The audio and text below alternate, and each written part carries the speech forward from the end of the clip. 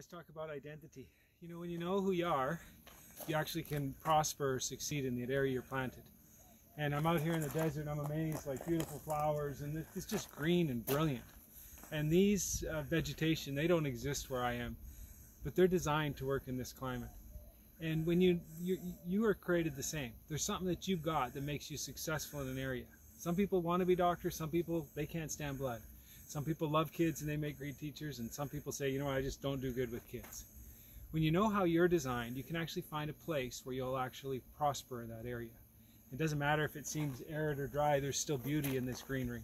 So wherever you are, plant and flourish, but find out where you would flourish best. So wish you a great day.